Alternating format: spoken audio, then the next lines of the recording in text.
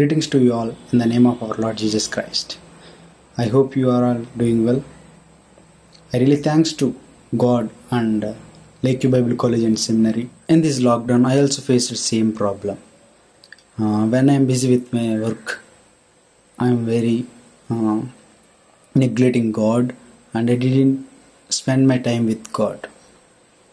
When I realizing that, I try to uh, stand before God, but I felt shy to uh, stand before Him and uh, face Him.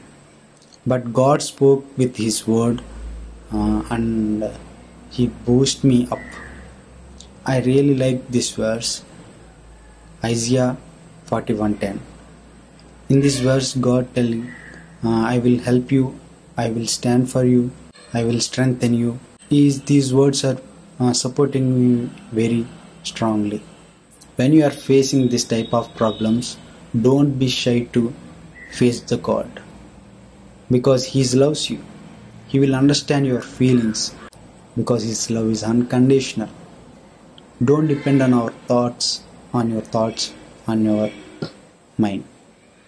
Depend on God in His will, in His plan.